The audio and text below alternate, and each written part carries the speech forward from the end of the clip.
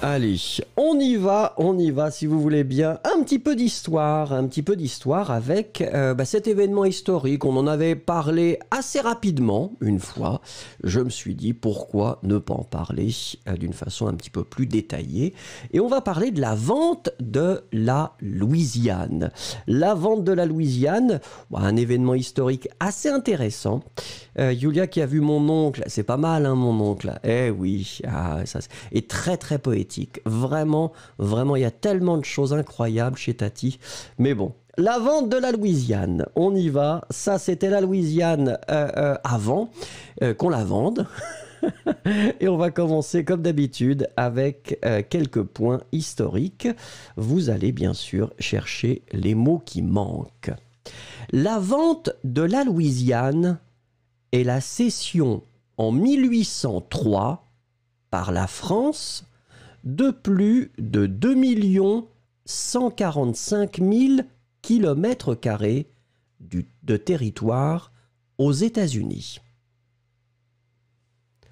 La vente de la Louisiane et la cession en 1803 par la France de plus de 2 145 000 km de territoire aux États-Unis. S'il vous plaît, écrivez les mots qui manquent. Merci.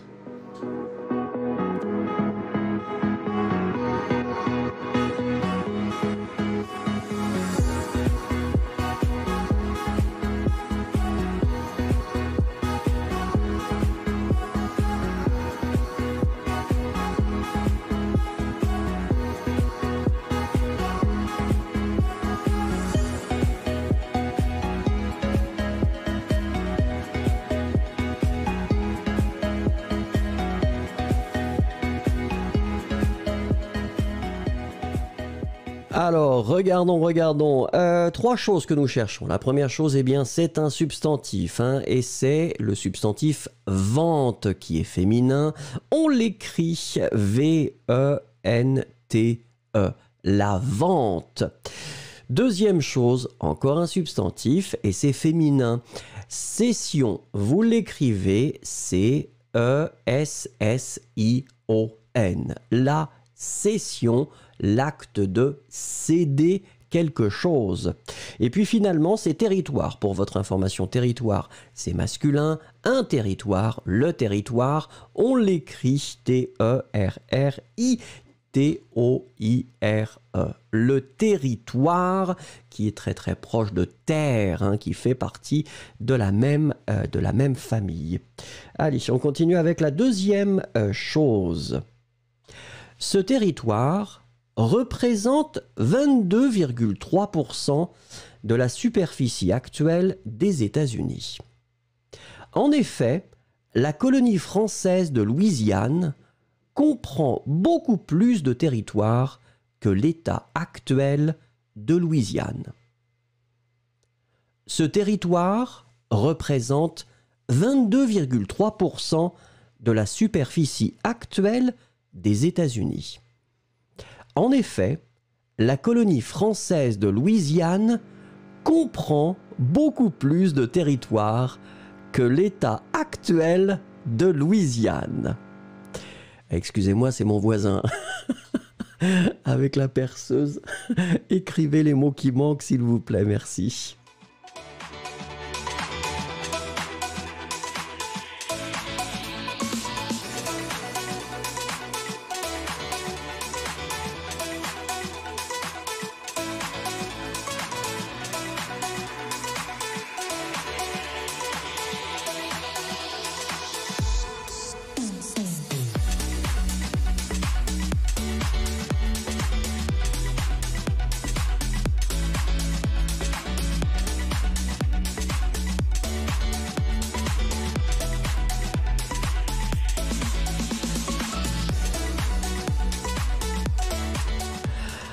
On regarde ensemble. On regarde ensemble. On, est à la recherche de quatre, choses. Euh, première chose, eh bien, c'est le verbe représenter que l'on conjugue ici au présent la troisième personne du singulier. Et c'est représente R-E-P-R-E, accent aigu, S-E-N-T-E. Ensuite, c'est superficie. C'est un substantif qui est féminin. La superficie. Vous l'écrivez S-U-P-E-R-F-I-C-I-E. Le E final est totalement muet. Euh, ensuite, comprendre le verbe du troisième groupe que l'on conjugue ici à la troisième personne du singulier. Comprend, C-O-M-P-R-E-N et puis la fin, c'est territoire, hein, encore une fois, mais là, c'est au pluriel, et donc vous devez mettre le S à la fin. C'est toujours masculin, masculin pluriel, T-E-R-R-I, T-O-I-R-E-S. Très bien, Chériline, je pensais que le bruit provenait d'une machine à espresso. ah non, non, c'est non, c'est non, c'est c'est une machine à espresso qui fait des trous dans les murs. ah non, c'est mon voisin mais je pense qu'il va avoir un très très bel appartement et ça me fait plaisir pour lui.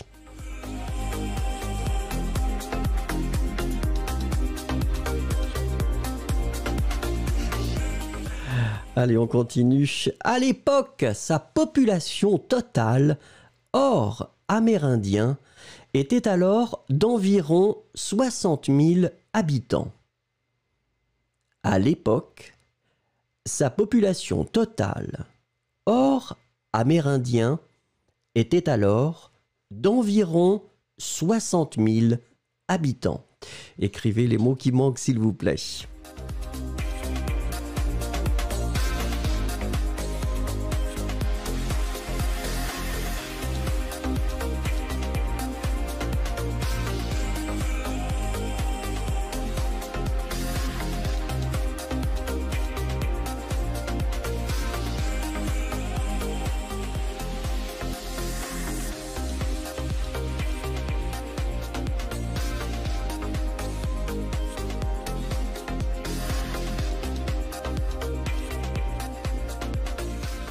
Alors, regardons ensemble les trois choses que nous cherchions. La première chose, population. Là maintenant, vous savez que c'est féminin. Les mots en ion, on en a vu beaucoup, donc c'est féminin. Une population, la population, sa population. P-O-P-U-L-A-T-I-O-N. Population amérindien, s'il vous plaît, avec une majuscule, puisque nous parlons des gens. Ici, on ne l'utilise pas comme adjectif, on l'utilise comme substantif. Donc, majuscule A, M, E, accent aigu, R, I, N, D, I, E, N, S. Et puis ensuite, la dernière chose, c'était environ. Ça, vous l'écrivez bien. Attention, pas de S à la fin. C'est vraiment environ. E, N, V, I, R, O, N. Environ environ 60 euh, 000 habitants. Mais une petite chose, bien sûr, une petite chose.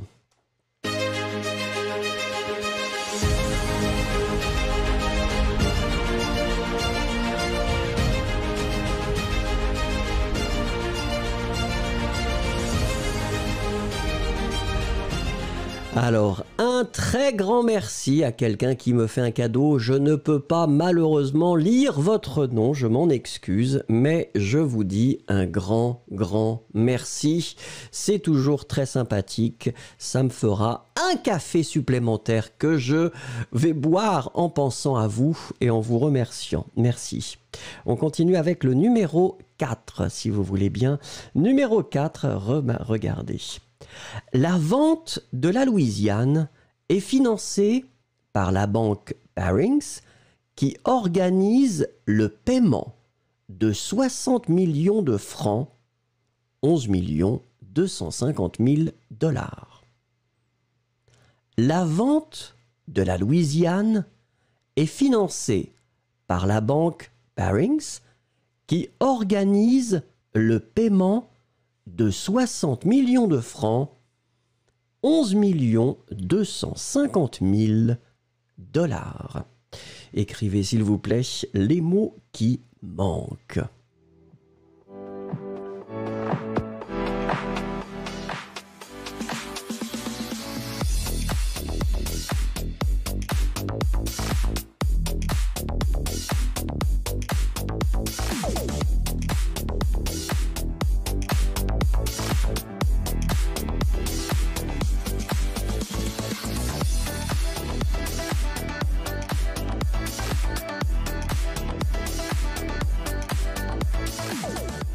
Allez, si on regarde ensemble, encore une fois, on est à la recherche de trois choses. hein. La première chose, financer. Alors ça, c'est important. Regardez, ça doit être au féminin.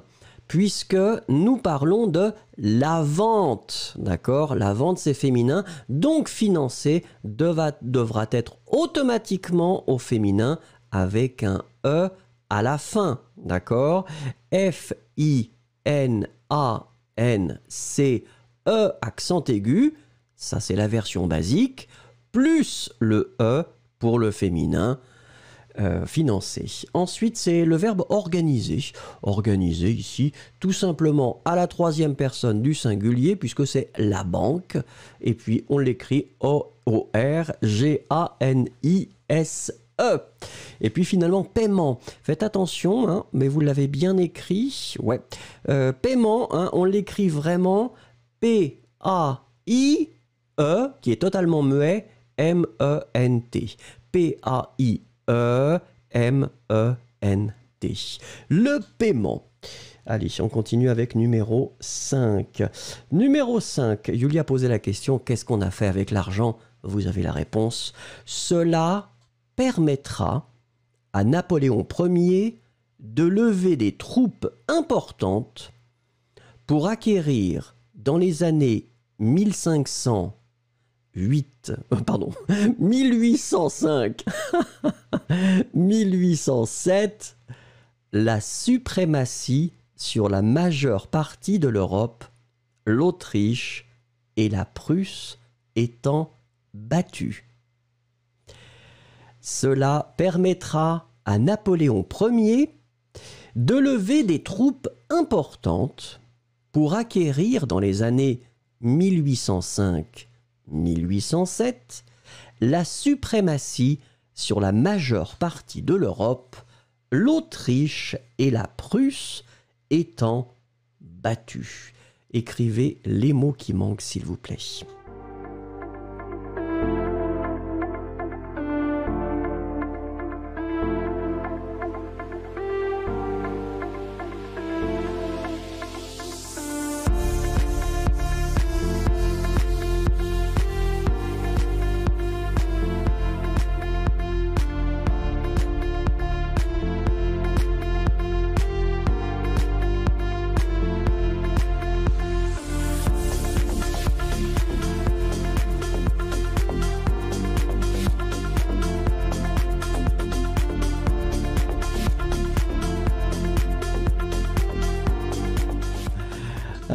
Regarde, je regarde. Donc là, on était à la recherche de quatre choses. La première chose, c'est le verbe permettre. Ici, le verbe permettre doit être au futur simple, troisième personne du singulier, permettra. Vous allez l'écrire P-E-R-M-E-T-T-R-A. Permettra. Tiens, maintenant c'est l'église. La cloche de l'église qui sonne entre la perceuse et l'église. Voilà où nous sommes. Deuxième chose, c'est un verbe à l'infinitif et le verbe c'est acquérir. Acquérir, vous allez l'écrire A C Q U E accent aigu R I R. Acquérir. Troisième chose, c'est un substantif et c'est suprématie. Hein, Souvenez-vous, T-I-E, vous allez le prononcer si, si, si, suprématie.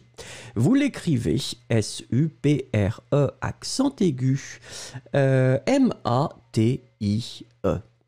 Et puis la dernière chose, eh bien, c'est battu. Alors battu, nous devons le mettre au féminin pluriel puisque nous parlons de l'Autriche. L'Autriche est un pays, un féminin et la Prusse est un pays féminin aussi. Donc c'est féminin pluriel B-A-T-T-U-E-S. Battu. Voilà, voilà. Allez, on continue avec le numéro 6. Le numéro 6. Lâche. J'ai vu quelque chose d'intéressant. Mourad qui dit boycotte les produits français. Alors Mourad, produit c'est masculin. Donc français doit être au masculin pluriel et pas française. D'accord? Parce que c'est masculin. Euh, pourquoi, Mourad Expliquez, s'il vous plaît, la raison pour laquelle vous voulez boycotter les produits français. J'attends votre explication, ça m'intéresse. Merci, Mourad. On continue si ça ne vous dérange pas.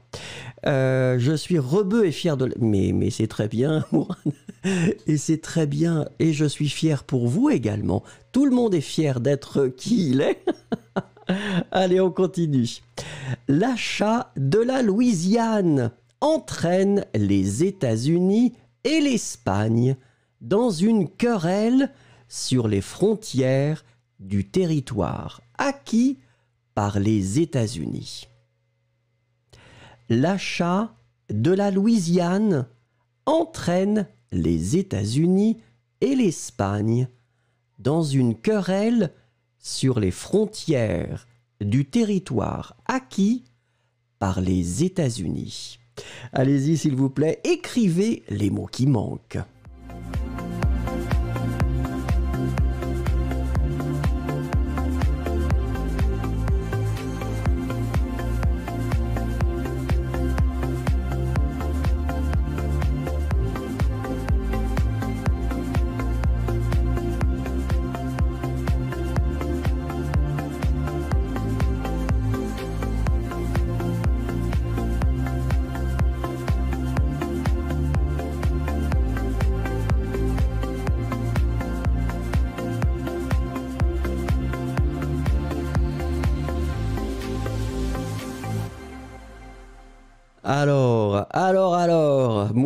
Me respecte, mais moi aussi je vous respecte Mourad, et c'est ça qui est très important dans ce monde, on doit tous se respecter et tout ira bien, et il n'y a pas de problème, respectons-nous. Euh, alors, trois choses que nous cherchons. La première chose, c'est achat. Alors achat, c'est intéressant parce que c'est le substantif du verbe acheter. D'accord? C'est masculin, un achat. Vous l'écrivez A-C H-A-T. La deuxième chose, c'est une querelle. Une querelle, eh bien, c'est un mot, un substantif féminin. Et vous voyez qu'on l'écrit Q-U-E-R-E-L-L-E. Et puis la dernière chose, eh bien, c'est acquis. Alors acquis, c'est très très intéressant puisque finalement, qu'est-ce que c'est? C'est le participe passé d'acquérir. Et donc vous l'écrivez A-C-Q Euh, pardon, U-I-S. Donc acquis, on ne prononce pas, bien sûr, comme d'habitude, le S euh, final. Voilà.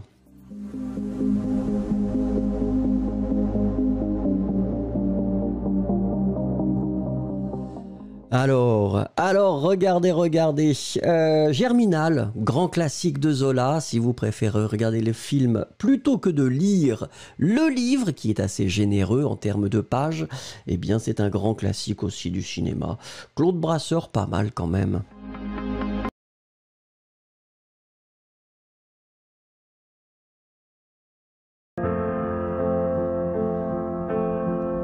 Allez, let's start with the, the numbers now. Numbers, as you know, I will read them. I will read them, uh, well, twice when you have several digits, but for the first one, number one will have only one digit, so I will just uh, read it once.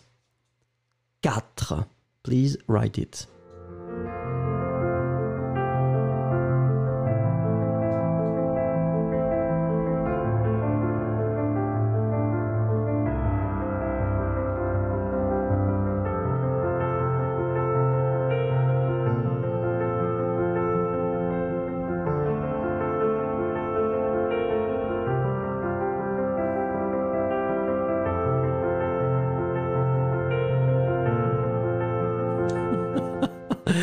Johanna, les chats. Oui, hein, I wanted to have some dogs and some cats, but then the dogs, I mean, it was uh, blocking the thing. So yesterday I've been solving my issues and now it's okay. Oui, très très bien. 4, hein, donc uh, that is the number I was expecting and it's 4. So this one was quite simple and everybody uh, found it. Uh, congratulations, félicitations. Now, uh, number 2, so it means that we'll have two digits and then I will read it twice. 26 26. Allez-y.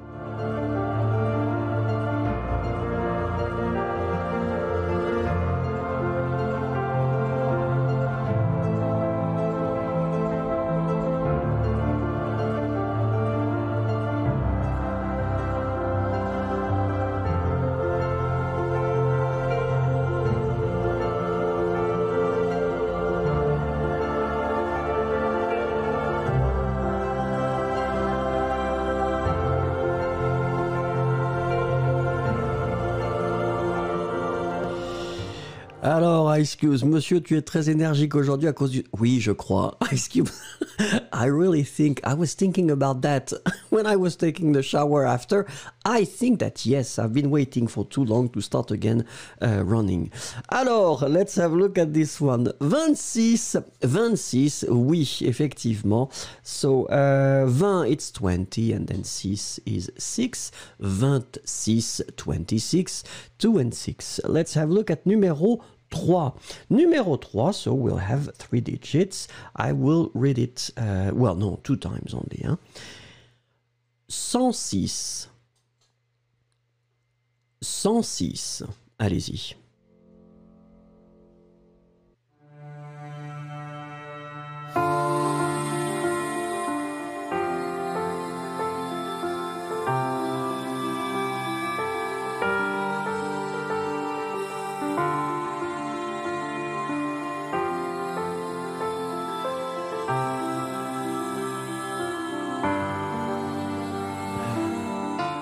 Ice Cubes, 20 comme 20, oui.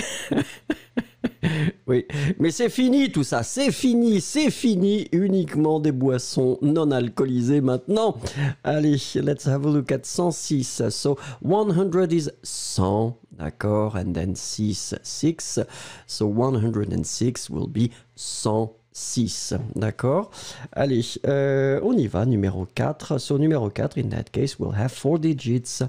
Euh, 5729. 5729. Allez-y.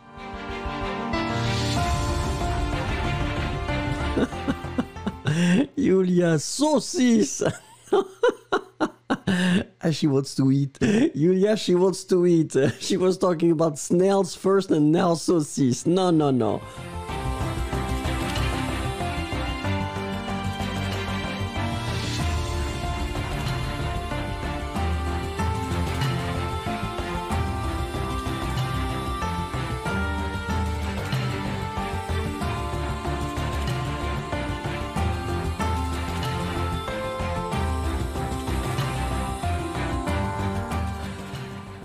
This one, so 5,000, 5,700, 720, 20, 9, 9. And then we combine everything, so 5,729. 5,729. Uh, 5, 7, 2, 9, 5, 7, 2 et 9. Allez, let's have a look at the last one, number 5, numéro 5. So we'll have five digits in that case, and uh, I will read it only twice. 96 204. 96 204. Allez, write it please.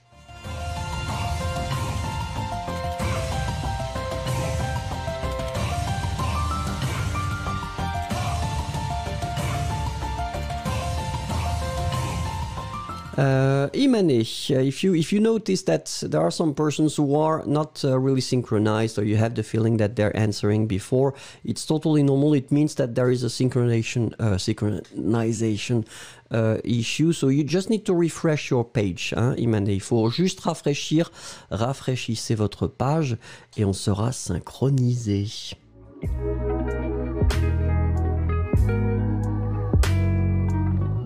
Allez, on regarde ensemble 96, 96, 1000, d'accord? 96, 1000. 200, 200, and then 4, 4. 96, 1000, 200, 4. 96 204. Voilà, merci beaucoup. And don't forget to click on the like.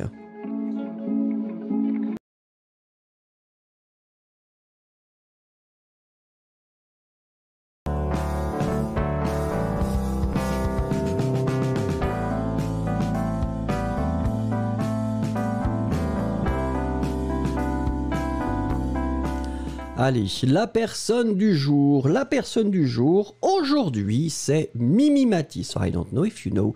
Mimi Mati, she's quite popular in France and she's been quite popular for, well, quite many years now.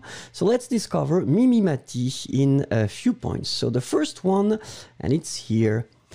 Michel Mati, dite Mimi Mati, est une humoriste et actrice française née le 8 juillet 1957 dans le 7e arrondissement de Lyon. Michel Mati, dite Mimi Mati, est une humoriste et actrice française née le 8 juillet 1957 dans le 7e arrondissement de Lyon. Allez-y.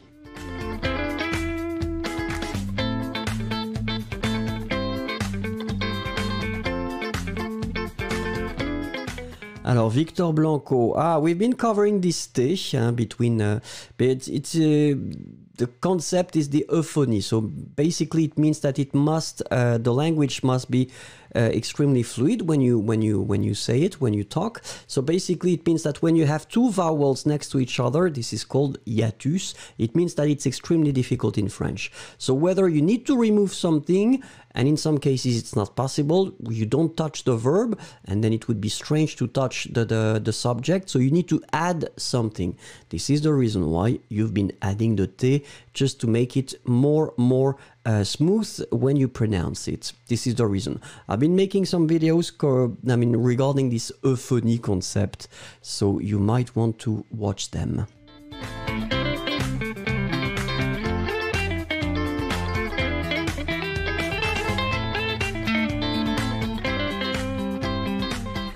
Alors, let's have a look at the things we were looking for. The first one is dit. Remember that you will have to write it D-I-T-E. Basically, you put the feminine form, the E, because it's Michel. It's a lady. Uh, well, Michel could be a man, but not written like that. Actrice. Actrice is the feminine form of actor, and you write it A-C-T-R-I-C-E actrice. D'accord? And then after that, it's the month. Remember that in French, we don't put the capital letters for the month. So it should be in small letters. So it's J U I L L E T. And you pronounce it y y y y juillet. Remember, juillet. That's it. So this is the way it should be pronounced. Let's look at the second thing regarding Mimi Mati. On y va. Elle est notamment connue pour avoir fait partie du trio comique Les Filles avec Michel Bernier et Isabelle Botton dans les années 1980. Elle est notamment connue pour avoir fait partie du trio comique les filles avec Michel Bernier et Isabelle de Botton dans les années 80. Write the missing words, please.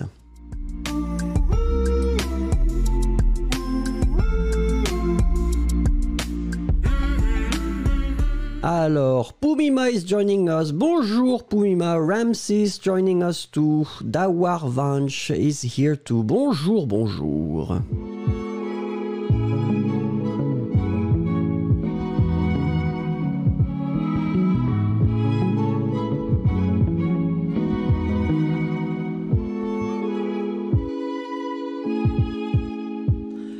Alors, let's have a look at the things uh, we're looking for. So the first one is the verb avoir. Avoir should be okay. Normally, you write it A-V-O-I-R. And it's quite interesting because when you look at the structure avoir fait together, this is something that we saw, uh, well, we discussed about that few weeks ago. I guess it was this infinitive passé. Hein.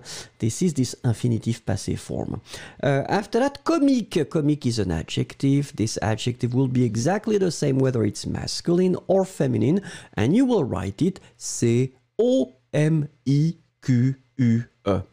Comique. And the last thing, it's année. And in that case, as you can see, we've got the article, the plural form, les, so année should be in the plural form, a, N, N, E, accent aigu, E, N, S.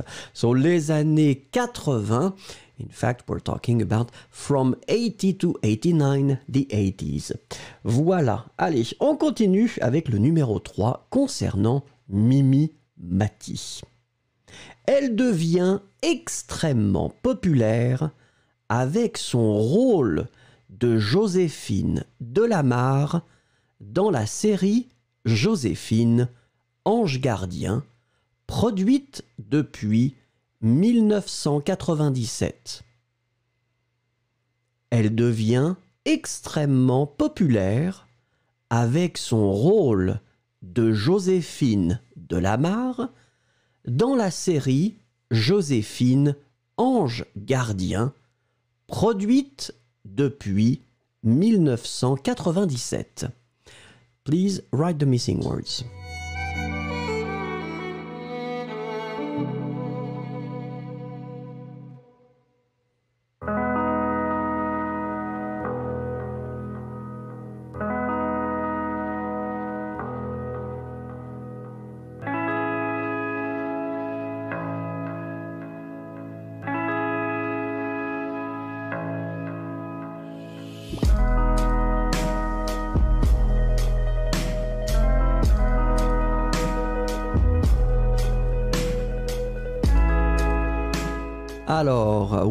Oui, I can see that everything seems to be quite okay, in fact. So the first thing is uh, populaire. So populaire, it's an adjective. It will be exactly the same form, whether it's masculine or feminine.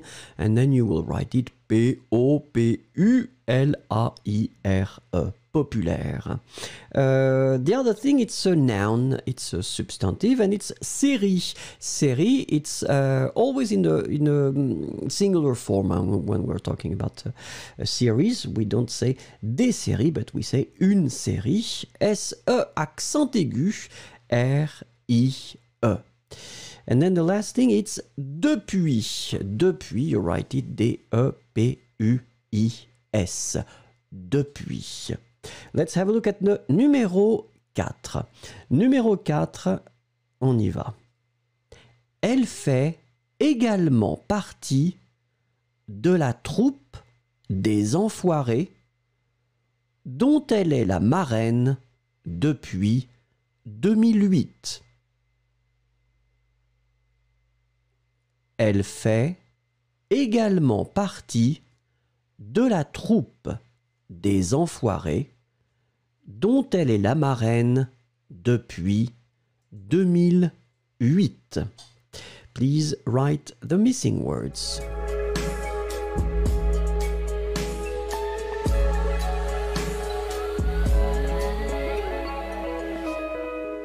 Alors, Hems, well, I'm, I'm, I'm happy if you, uh, if you enjoy the, the the content of the, the website. Um, I am still working on the on the update, the, the upgrade. So I will upgrade the the, the curriculum, uh, but it will come little by little. But still, I'm I'm starting to recording it. So.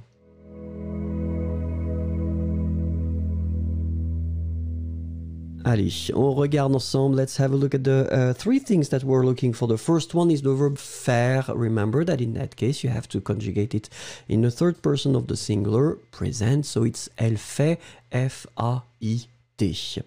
Uh, after that, la troupe. La troupe, so you can see that it's a feminine noun. You write it T-R-O-U-P-E. Remember that you don't really uh, pronounce uh, the E, the final E that's strong, so troupe. And then after that, it's don. Hein? Uh, don, remember that you should write it D-O-N-T. Don. And that's it for Mimimati. So now you know her. If you didn't know her before, well, that's it. French people know her. Everybody knows her. So you can discuss about her after that.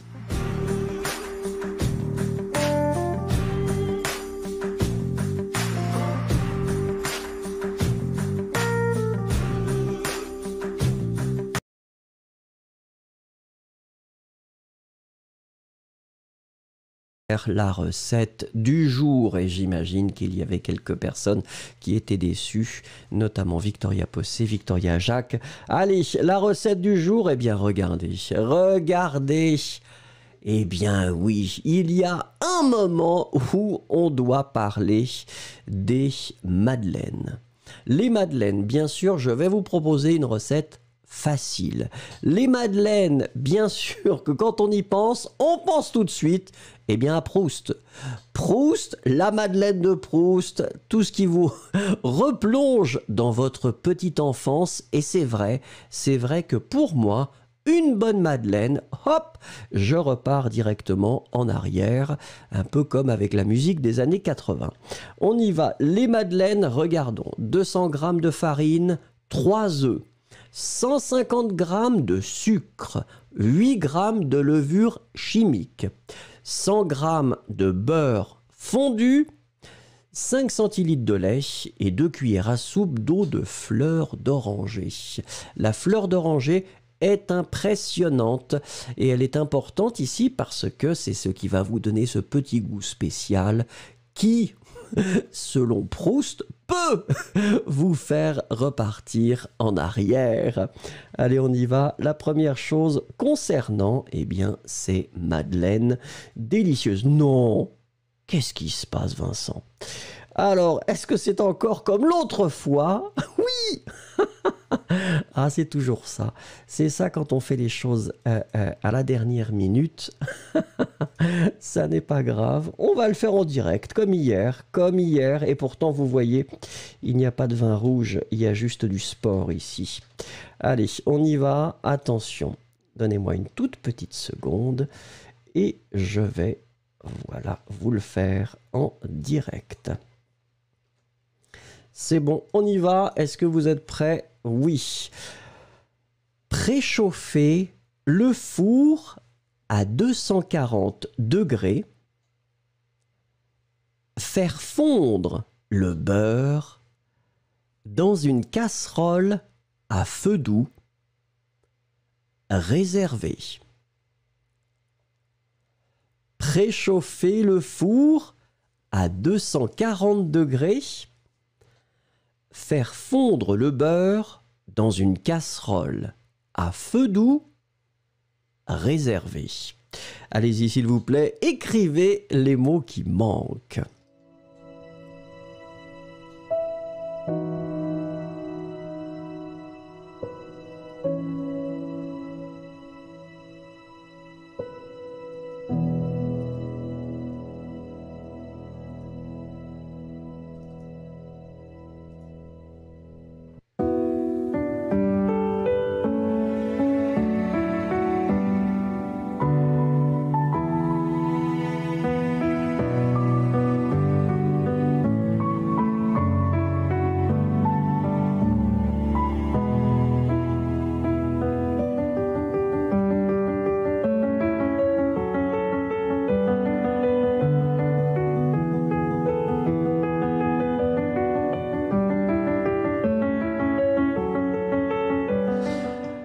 Je suis là, je suis là, bien sûr, je suis en train de préparer en direct les choses qui suivent.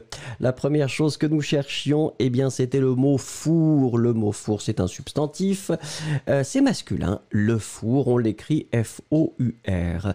Deuxième chose, eh bien, c'est un verbe, c'est un verbe à l'infinitif.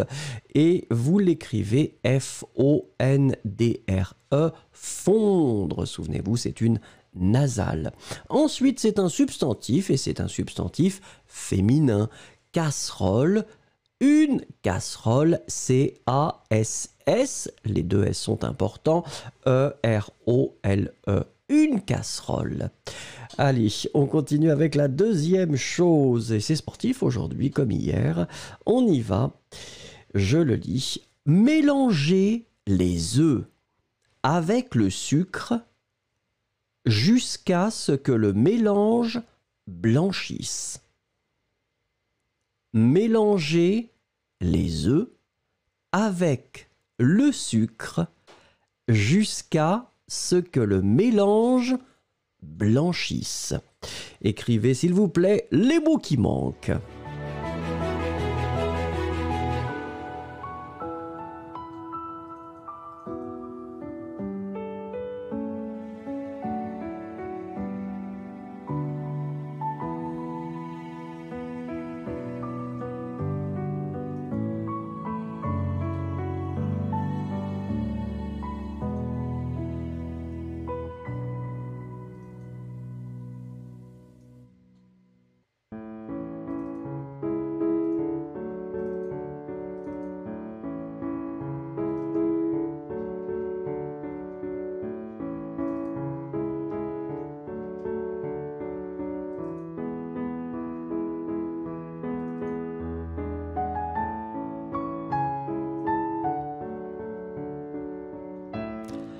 Je regarde, je regarde. Voilà les trois choses que nous cherchions. La première chose, c'est un substantif. Souvenez-vous, c'est les œufs.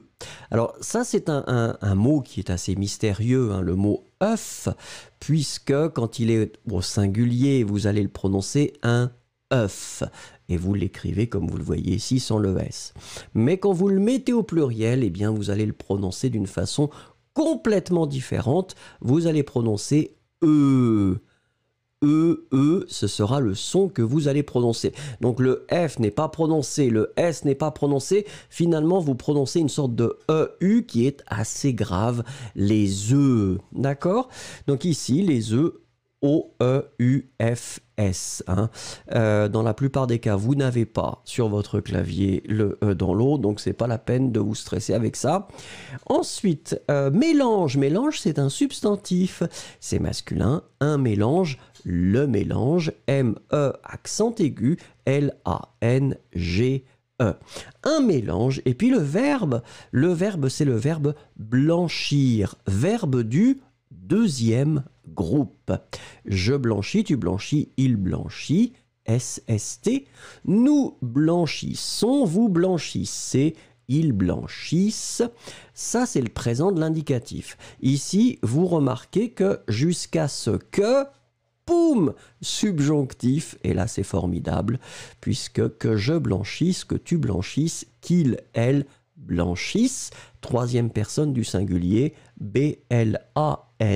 B-L-A-N-C-H-I-S-S-E. Allez, on continue avec les madeleines.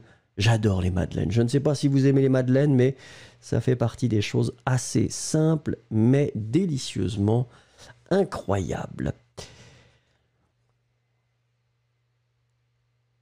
Ajoutez ensuite la fleur d'oranger et 4 centilitres de lait.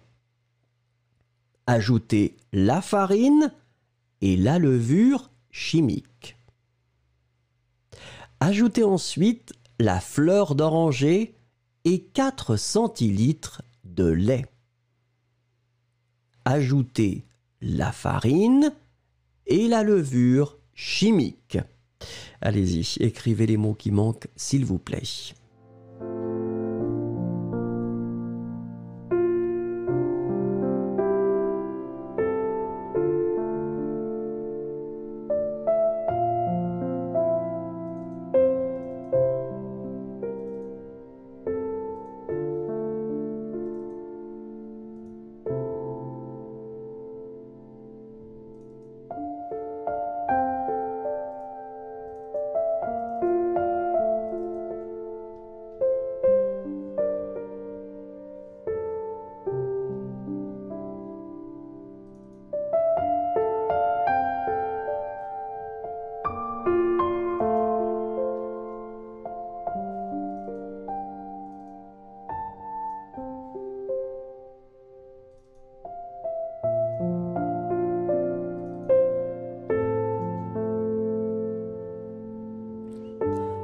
Je regarde, excusez-moi, en même temps, je suis obligé de préparer l'image suivante. Hein, c'est pour ça, c'est pour ça qu'il y a du travail en permanence. Trois choses que nous cherchions comme d'habitude. La première chose, eh bien, c'est un substantif et c'est fleur. Vous l'avez bien écrit. Attention, ça doit être au singulier, pas au pluriel. F L E U la fleur, la fleur d'oranger, vous savez ce goût vraiment très très spécial. Ensuite, c'est encore un substantif et c'est farine. Farine, c'est féminin, la farine, F-A-R-I-N. E, ça vous l'avez bien fait. Et puis chimique, chimique, adjectif, adjectif au masculin ou au féminin, c'est la même forme, c'est H-I-M-I-Q-U E, la levure chimique. Allez, on continue avec la quatrième chose. La quatrième chose, eh bien oui, on continue avec les madeleines. C'est ensuite le tour du beurre et le restant du lait. Laissez reposer votre pâte pendant 15 minutes. Et ça, c'est fondamental. Hein. C'est fondamental quand vous faites de la boulangerie, de la pâtisserie, il faut laisser la pâte reposer. C'est important. Je répète. C'est ensuite le tour du beurre et le restant du lait. Laissez reposer votre pâte pendant 15 minutes. Allez-y, écrivez s'il vous plaît les mots qui manquent.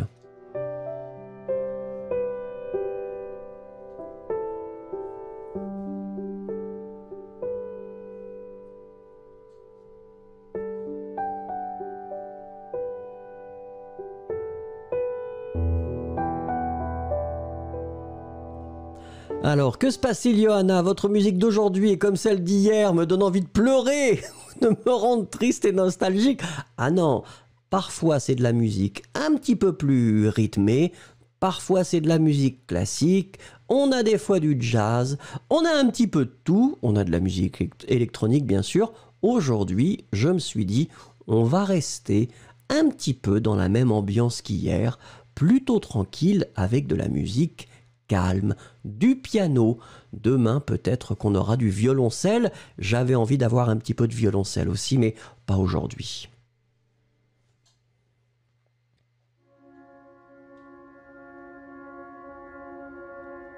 Allez, on regarde ensemble les trois choses que nous cherchions. La première chose, eh bien, c'est un substantif, c'est masculin et c'est le beurre. Vous l'écrivez B-E-U R-R-E. Ensuite, c'est un verbe et le verbe c'est reposer. Reposer, infinitif, hein, R-E-P-O-S-E-R, ça vous l'avez bien écrit. Euh, et puis finalement, c'était pendant. Pendant, vous l'écrivez bien aussi, P-E-N-D-A-N-T. Là, il n'y a pas de problème. On continue avec la cinquième étape concernant les Madeleine. Et oui, effectivement, Johanna. Madeleine de Proust, nostalgie, il faut pleurer un petit peu, c'est nécessaire. Mais ça fait du bien, après on est bien. Allez, beurrer les moules à Madeleine et verser la préparation dedans. Mais pas jusqu'en haut, parce que les madeleines vont gonfler, bien sûr beurrer les moules à madeleine et verser la préparation dedans, mais pas jusqu'en haut, parce que les madeleines vont gonfler. S'il vous plaît, écrivez les mots qui manquent.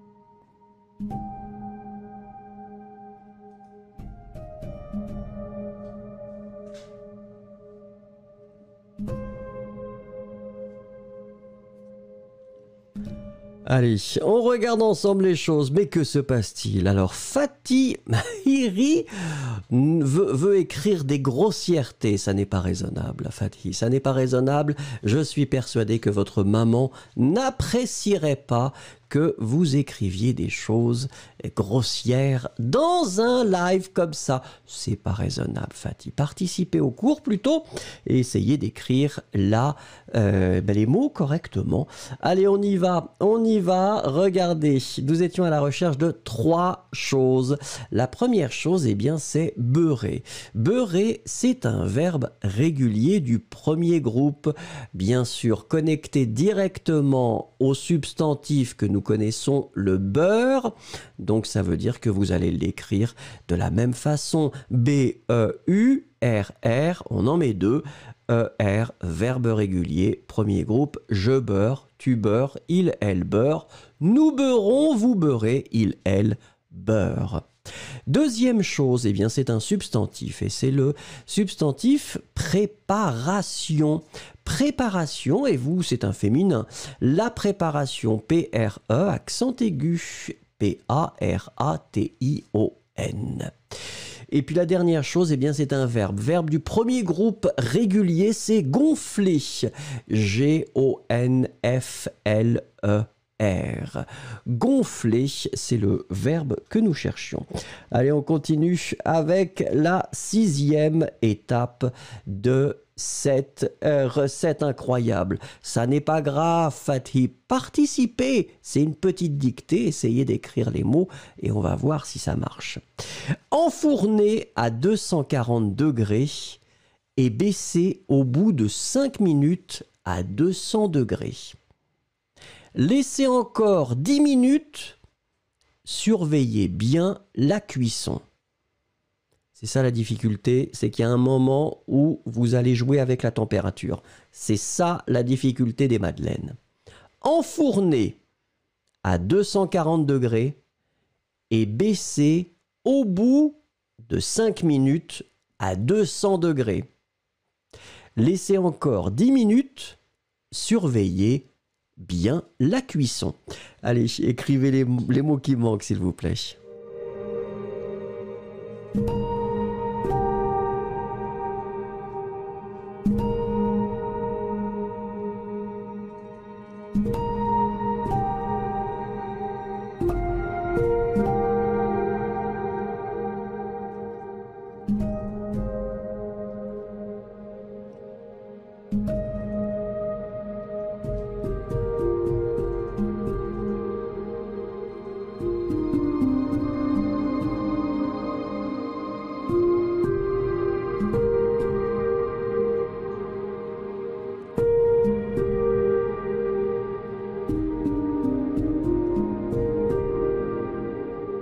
Allez, on regarde ensemble les mots euh, que nous cherchions. Les voici, les voilà. Trois choses. La première chose, c'est un verbe. Le verbe, c'est enfourner. Hein. Enfourner, c'est le verbe qui correspond effectivement à euh, euh, mettre quelque chose dans le four. Qu'est-ce qui se passe? Les gens veulent être très vulgaires aujourd'hui. Heureusement que YouTube filtre ces choses-là. Que se passe-t-il avec les gens? Ensuite, la deuxième chose, eh bien, c'est encore, et ça, vous l'écrivez très très bien. Encore, vous l'écrivez. Alors, E-N-C-O-R E. Et puis la dernière chose, eh bien, c'est cuisson. Cuisson, c'est féminin et vous l'écrivez C-U-I-S-S-O-N. Alors, Chirine veut probablement nous provoquer d'une certaine façon avec quelque chose d'un petit peu léger. Que se passe-t-il, Chirine? Que se passe-t-il dans votre vie? C'est un petit peu pathétique, mais ça n'est pas grave. On continue avec le numéro 7, Chirine. Essayez de faire la dictée au lieu de nous écrire des choses pas très intéressantes. Allez, on y va. Démouler les madeleines dès la sortie du four. Démouler les madeleines dès la sortie du four. Allez, écrivez s'il vous plaît les mots qui manquent.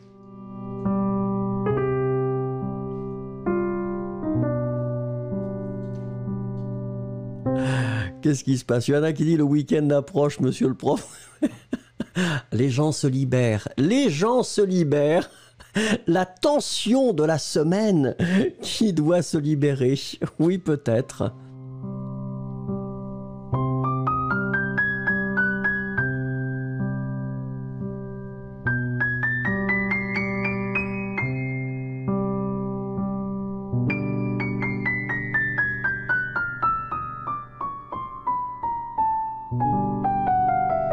Allez, et c'est bien sûr la dernière étape, mais qui est une étape très importante, hein, c'est-à-dire qu'il ne faut pas laisser vos madeleines euh, euh, quand vous les sortez du four, vous les démoulez directement, directement. Alors la première chose, donc comme d'habitude, on est à la recherche de trois choses. La première chose, c'est démouler. D-E accent aigu, M-O-U-L-E-R. Verbe régulier du premier groupe, ça c'est relativement facile. Deuxième chose, eh bien c'est des. Des, souvenez-vous qu'on l'écrit avec un accent grave. Hein. Ça, c'est vraiment important. Donc, D-E, accent grave, S c'est ce qui va faire la différence eh bien, avec des, l'article euh, un, une, des. Et puis la dernière chose, eh bien, c'est le four. Le four, eh bien, vous le mettez, vous l'écrivez F-O-U-R. Four. Alors attendez, Julia, se liber, c'est comme célibaté. Aucune idée. Alors là, là, Yulia, je ne comprends pas votre question. S'il vous plaît, formulez de façon plus, plus claire. Merci. Alors, on en a parlé, mais je crois que c'était Yulia qui en parlait et qui disait Fantomas. Eh bien oui, Fantomas, quand on parle des comédies des années 60, hein, on doit automatiquement parler de Louis de Funès, qui a été un personnage très très important dans les années 60, et Fantomas, ben écoutez, c'est un grand classique, un grand, grand classique. Personnellement, je préfère le deuxième, mais c'est le premier. Le premier, il est vraiment, vraiment très, très bon.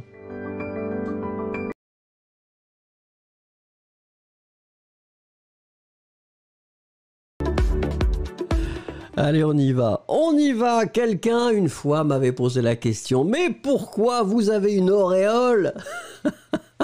derrière vous Et j'avais expliqué, et, je, voulais prendre le temps euh, d'introduire, eh bien, un ancêtre, un ancêtre de ma famille, effectivement, qui s'appelle, enfin qui s'appelait, puisqu'il n'est plus là, François Migoret.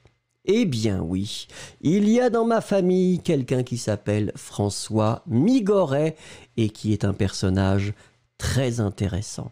Et je vous invite à découvrir François avec moi. Bon, la seule chose qu'on peut avoir de lui, c'est cette image qui n'est peut-être pas vraiment olé olé pour un week-end, mais c'est comme ça, c'est la vie de François Migoret. Et nous commençons avec la première chose concernant François Migoret. François Migoret Laberdière né en 1728. Il était le fils d'André Migoret et de son épouse Marie Cosseron. François Migoret, la Berdière, est né en 1728. Il était le fils d'André Migoret et de son épouse Marie Cosseron. S'il vous plaît, écrivez les mots qui manquent.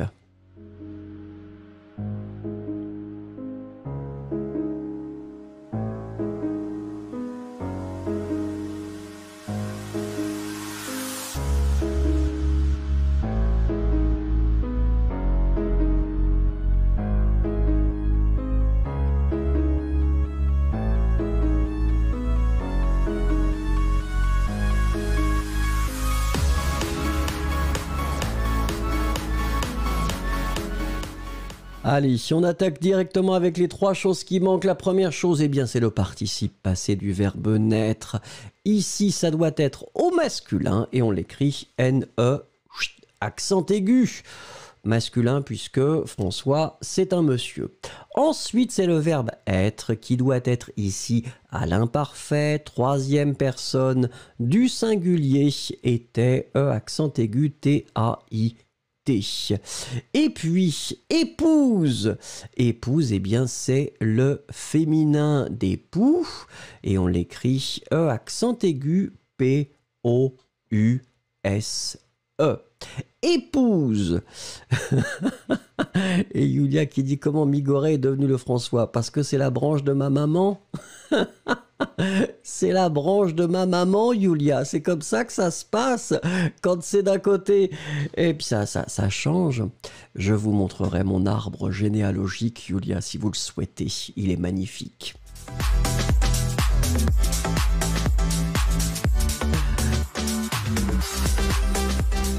Allez, la deuxième chose concernant le beau François. Il entre dans l'ordre franciscain en 1751 et devient séminariste à Donfront en 1752.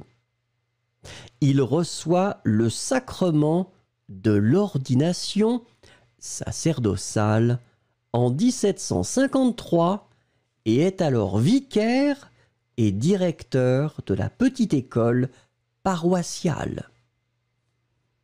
Il entre dans l'ordre franciscain en 1751 et devient séminariste à Donfront en 1752.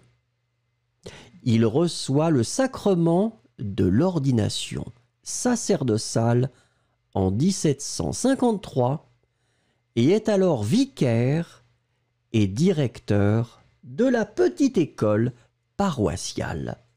S'il vous plaît, écrivez les mots qui manquent.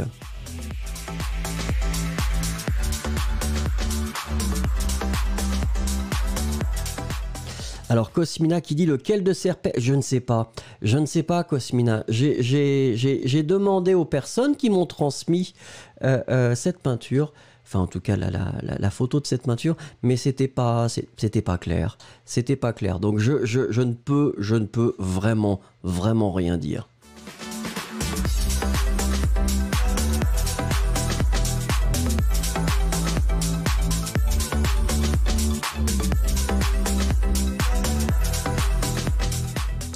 Allez, comme d'habitude, trois choses. La première chose, franciscain. Franciscain, ça doit être effectivement ici au masculin, puisque nous parlons de François. Et François était un monsieur.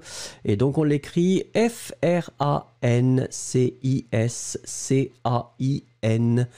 Ensuite, le sacrement. Sacrement, comme vous le voyez, c'est un substantif qui est masculin. S-A-C-R-E-M-E-N-T. Et puis directeur. Directeur ici, c'est le masculin, puisque c'est encore une fois François. D-I-R-E-C-T-E-U-R. Alors jusqu'à maintenant, tout va bien. ah, ça devient, ça devient un petit peu moins joyeux progressivement, mais bon, on y va. En 1777, il devient curé de Rennes en Grenouille, près de Mayenne. À partir de 1792, il est détenu avec 13 autres prêtres et quelques religieux au monastère de la Patience à Laval. En 1777, il devient curé de Rennes en Grenouille, près de Mayenne. À partir de 1792, il est détenu avec 13 autres prêtres et quelques religieux au monastère de la Patience à Laval. Allez-y.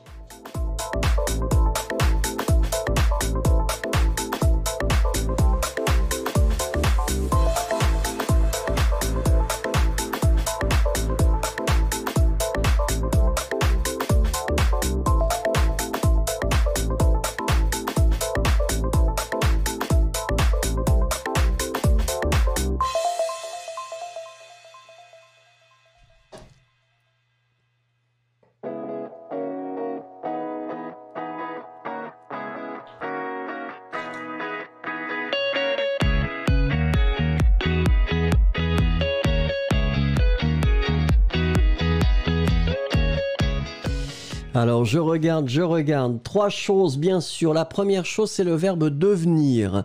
Le verbe devenir, bah, ici qui est conjugué à la troisième personne du singulier et vous l'écrivez D-E-V-I-E-N-T au présent. Ensuite détenu. On doit le laisser ici au masculin parce que bien sûr c'est toujours pour François et donc c'est D-E accent aigu T-E-N-U. Et la dernière chose, c'est monastère. Monastère, c'est un mot masculin. Un monastère, et vous l'écrivez M-O-N-A-S-T-E. Accent grave R-E. Quatrième chose, voilà. Et là, ça devient moins joyeux, malheureusement pour eux.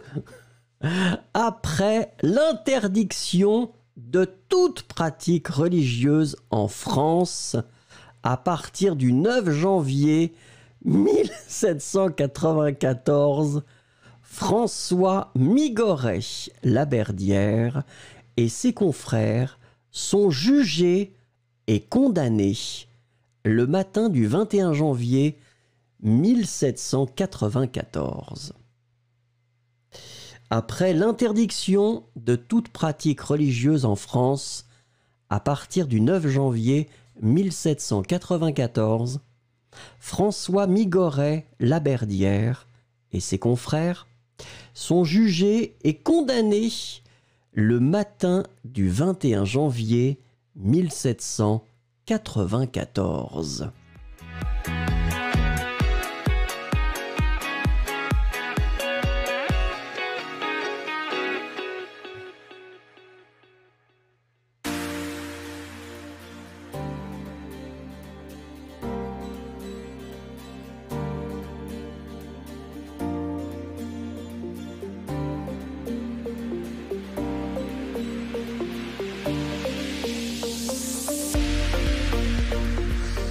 Alors, euh, Aïcha Mohamed nous rejoint. Bonjour Aïcha, comment ça va? On n'oublie pas de cliquer sur le like. Nous n'atteindrons pas les 100, mais ça n'est pas grave. J'ai accepté ça. Allez, euh, trois choses comme d'habitude. La première chose, c'est pratique. Pratique, c'est féminin. Une pratique, et on l'écrit P-R-A-T-I-Q-U-E. L'autre chose, c'était confrère. Alors, confrère, c'est masculin, mais ici, c'est au pluriel. Donc, on doit mettre un S à la fin, C-O. N, F, R, E, accent grave. R-E-S, qu'est-ce qui se passe? Julia, elle est en forme. Hein. Condamné Condamné doit être écrit ici, au masculin pluriel aussi. C-O-N-D-A-M-N-E, accent aigu, S. Julia, c'est comme ça que François devient le François. Mais non Julia, c'est du côté de ma maman. Et donc, bien sûr, ma maman ne s'appelle pas le François. Mon papa s'appelle le François, donc c'est du côté de ma maman. Donc bien sûr que les noms changent. C'est comme ça la généalogie.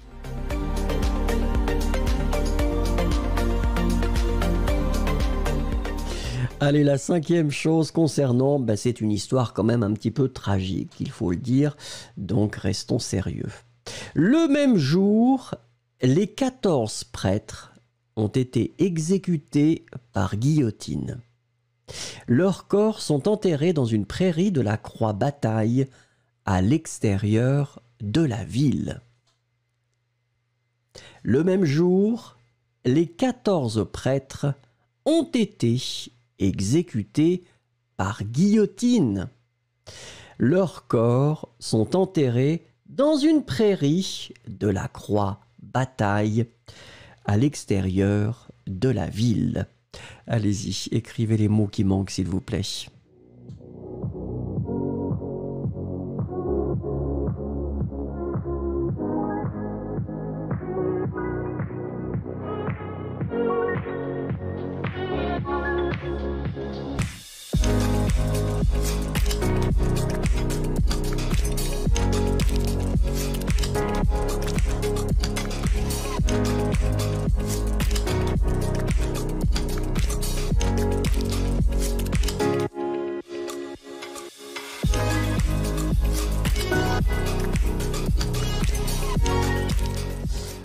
Regardons ensemble les trois choses qui manquaient. Eh bien, exécuter. Exécuter doit être bien sûr au masculin pluriel, puisque nous parlons eh bien, de prêtre. Donc, c'est uniquement des hommes, mais c'est du pluriel. Et donc, vous l'écrivez E-X-E, accent aigu, C-U-T-E, accent aigu S. Ensuite, guillotine. Eh bien, guillotine, c'est un mot féminin, la guillotine. Et on l'écrit ici G-U-I-L-L-O-T-I-N-E. Et la dernière chose, eh bien, c'est un substantif, encore une fois, prairie. Prairie, vous l'écrivez P-A-R, euh, pardon, P-R-A-I-R-I-E. C'est féminin, une prairie. Allez, on termine avec la dernière chose concernant, eh bien, euh, mon ancêtre.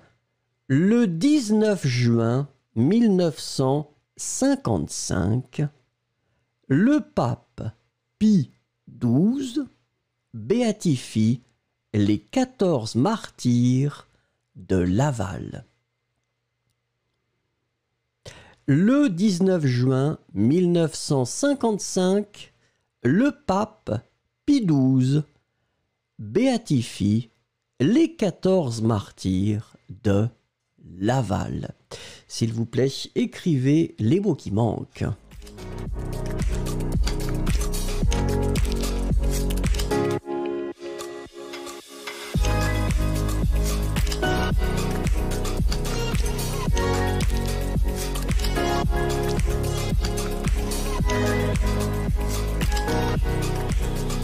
Thank you.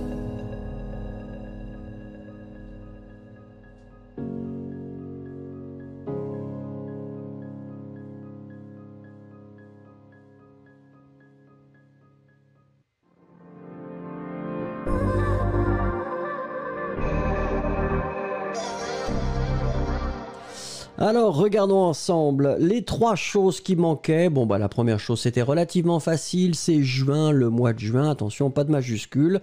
En français, c'est tout en minuscule. J-U-I-N. La deuxième chose, c'est un verbe. On l'utilise pas très souvent, mais c'est le verbe béatifier. Béatifier, qui est un verbe régulier du premier groupe. Et on l'écrit béatifie, parce qu'ici, nous parlons du pape, troisième personne du singulier, il béatifie, B-E, accent aigu, A-T-I-F-I-E. Béatifie. Et puis la dernière chose, eh bien c'est martyr. Et martyr, on l'écrit euh, M-A-R-T-Y-R-S. Le 19 juin 1955, le pape XII béatifie les 14 martyrs de Laval. C'était à Rome et ma grand-mère est allée là-bas pour l'occasion, bien sûr.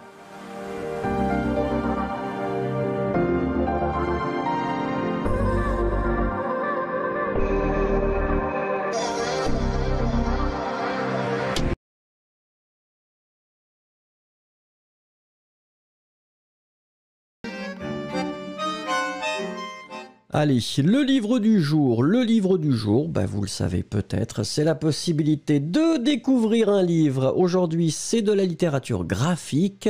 Le titre, c'est Tant pis pour l'amour. Et c'est d'une artiste qui s'appelle Sophie Lambda, ou d'une auteure plutôt.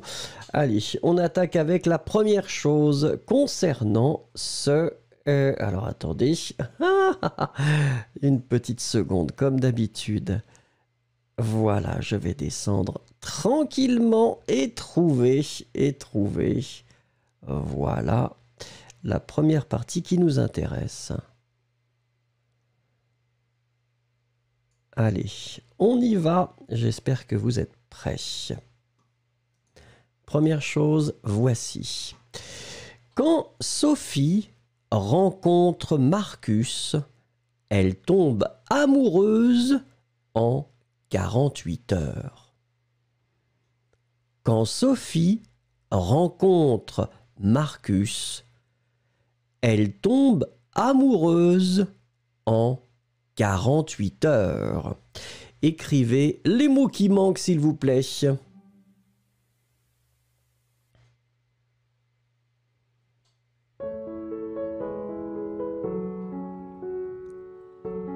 Alors, Sophia X, oui, le temps en Europe a changé. Nous avons changé l'heure. Et donc, c'est la raison pour laquelle euh, nous sommes euh, une heure avant maintenant pour vous, probablement.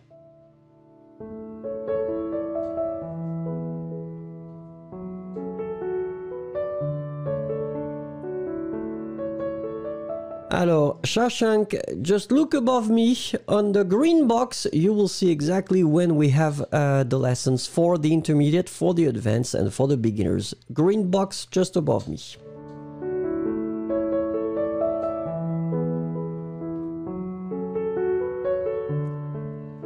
Et voilà, et voilà. Donc la première chose que nous cherchions, eh bien, c'était quand? Quand on l'écrit euh, Q-U-A-N-D. Donc ça, c'est relativement facile.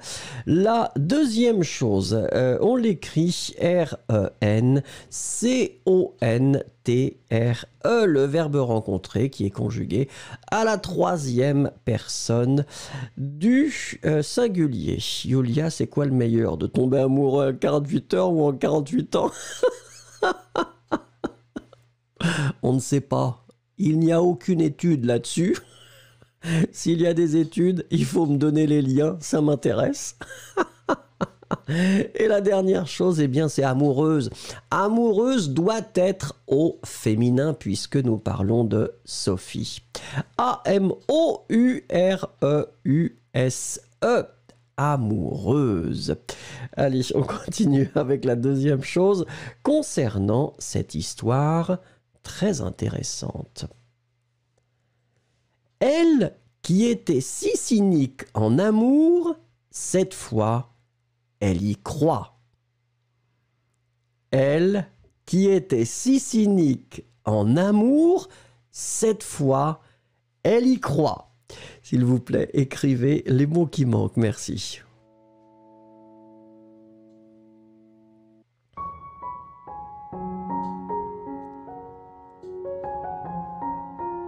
Alors, Lulu qui dit que vous êtes de Tanzanie. Youpi Vive la Tanzanie, Lulu. Vive la Tanzanie. Participez au cours, je vous en prie.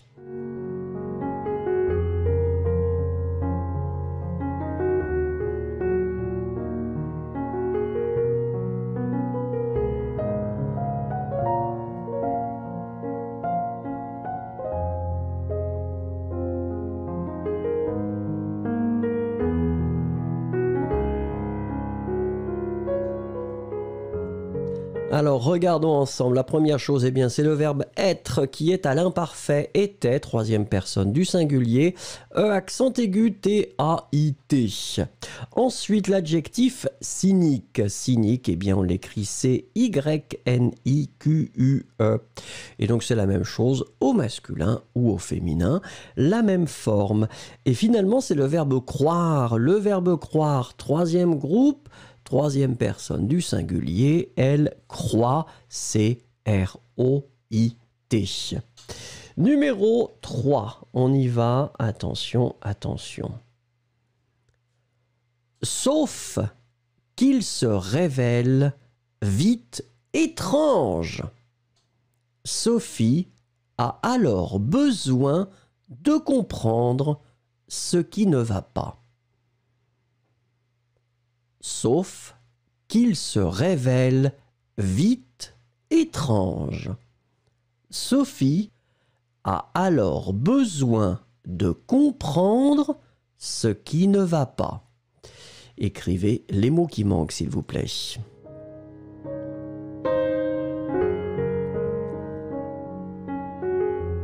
Ah, Stardust nous a rejoint. Coucou Stardust, comment ça va?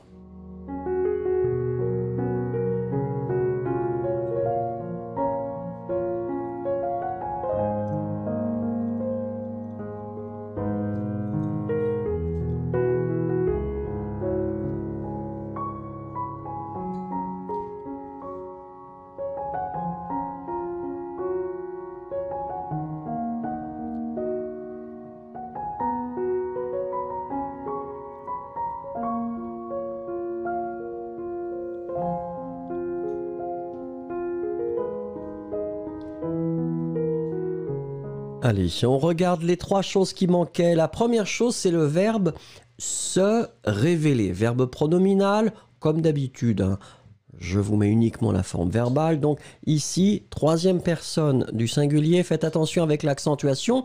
R, E, accent aigu, V, E, accent grave. Faites attention, L, E. Donc révèle.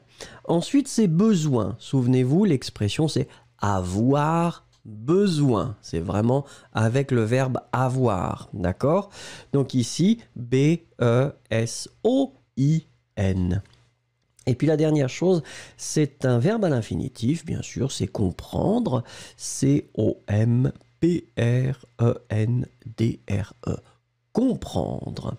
Allez, on continue avec la quatrième chose euh, concernant ce livre. Confronter à ses mensonges et ses incohérences, des excuses pour tout et arrive à se sortir de chaque impasse.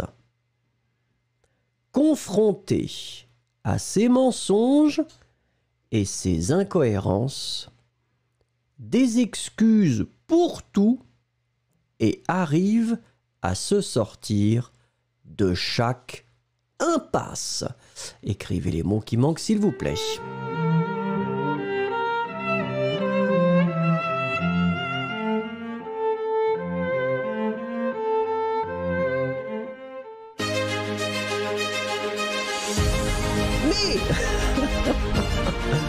Alors là, je dois danser. Et je danse bien sûr, bien sûr pour Mercury Allman. Merci d'être toi, mais non, merci d'être vous. Un grand, grand merci, euh, Mercury Allman. C'est très, très, très gentil. Euh, très sincèrement, merci.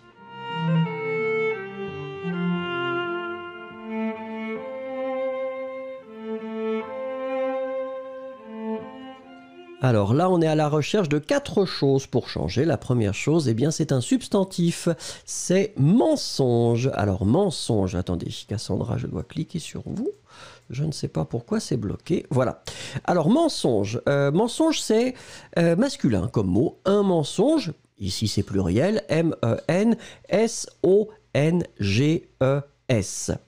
Ensuite, incohérence. Incohérence, c'est un mot féminin. Ici, c'est pluriel.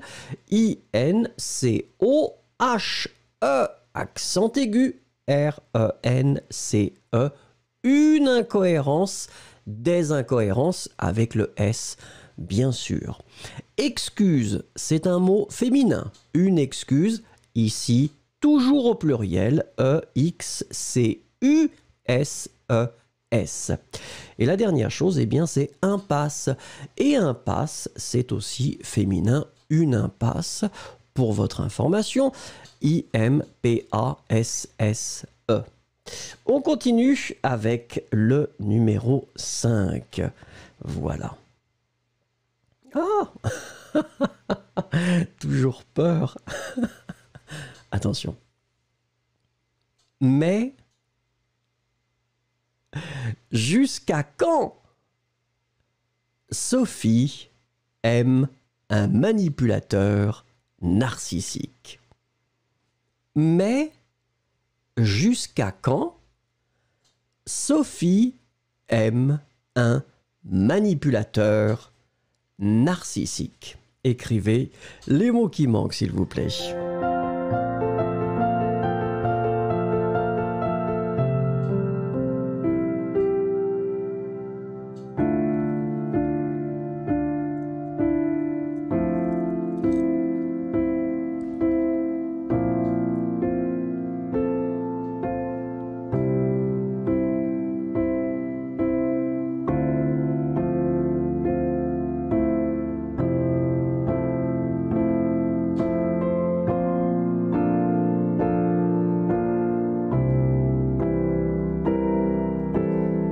Alors regardons-le. La première chose, eh bien, c'était jusqu'à. Hein, on est d'accord que vous allez l'écrire J-U-S-Q-U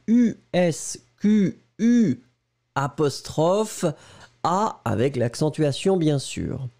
La deuxième chose, eh bien, c'était manipulateur. M-A-N-I-P-U-L-A T-E-U-R. Manipulateur, c'est masculin ici vous le voyez. Et finalement narcissique qui est eh bien un adjectif qui peut être masculin ou féminin et vous l'écrivez N-A-R-C-I-S-S-I-Q-U voilà, le livre s'intitule Tant pis pour l'amour ou comment j'ai survécu à un manipulateur. Ça a été donc fait par Sophie Lambda et c'est aux éditions, et eh bien vous voyez une case en moins. Si ça vous intéresse, c'est ce qu'on appelle de la littérature graphique et c'est parfois peut-être beaucoup plus efficace que de la littérature traditionnelle.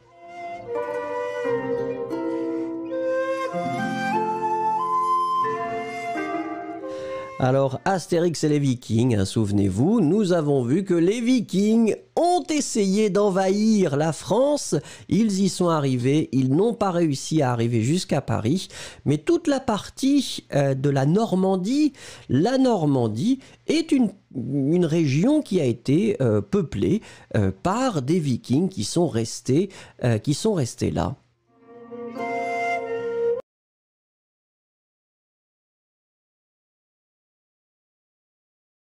Alors, on continue avec les homophones aujourd'hui. C'est le troisième. Eh bien, écoutez, les homophones, je vais me répéter et je vais redire les choses que j'ai dites avant, mais ce sont des mots que l'on prononce de la même façon, que l'on écrit différemment et donc qui logiquement ont une signification différente. La première chose, eh bien, j'aimerais que vous me traduisiez ce mot euh, water. Comment est-ce que vous pourriez le traduire, s'il vous plaît, euh, en français?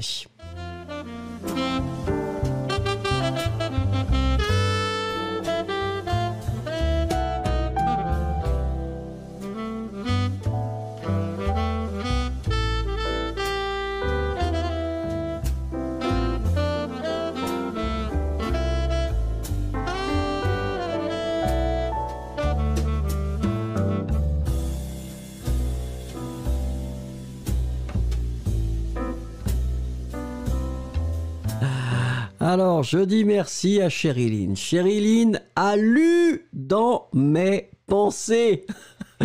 Puisque Chériline a compris qu'effectivement, quand j'ai utilisé le E, water, je voulais avoir l'article qui nous donnait la possibilité de savoir si c'est masculin ou féminin. Parce que quand on dit l'eau, et en général c'est ce qu'on dit, on ne sait pas si c'est masculin ou féminin. Et moi j'avais envie justement d'utiliser une pour vous donner cette information qu'effectivement le mot eau, eh bien c'est féminin. Ce qui explique le fait que quand vous écrivez eau minérale, eh bien minéral sera écrit au féminin et pas au masculin parce que c'est un mot féminin. Donc, nous sommes d'accord que pour notre exercice, le mot de base, c'est eau. Ça veut dire que la deuxième chose que je vais vous demander ici, qui est la traduction de cet adjectif, high, doit être phonétiquement égal au mot précédent, mais que vous allez l'écrire différemment. Allez-y, s'il vous plaît. Ici, c'est la forme masculine, bien évidemment.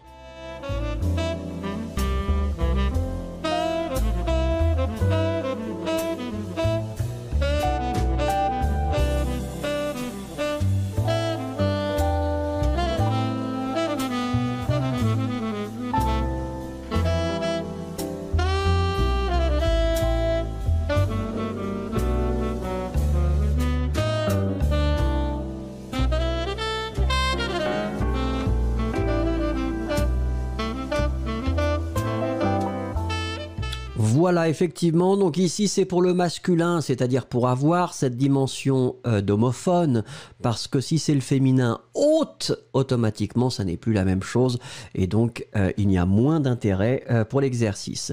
Donc ici, effectivement, une eau ou l'adjectif eau au masculin seront prononcés exactement de la même façon, mais bien sûr auront des significations euh, différentes. Merci beaucoup.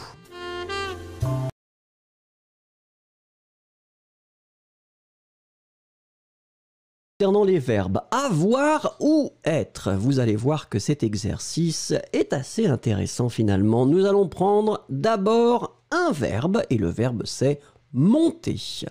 Nous allons utiliser comme exemple le passé composé. Le verbe monter eh bien, peut être construit au passé composé avec les deux auxiliaires. C'est possible d'utiliser avoir et c'est possible d'utiliser être. Mais bien évidemment, il y a des règles à respecter. S'il vous plaît, vous avez deux phrases. Vous avez la phrase en vert et la phrase en bleu.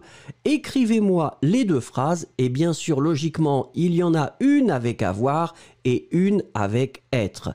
Écrivez-moi les deux phrases, s'il vous plaît, au passé composé.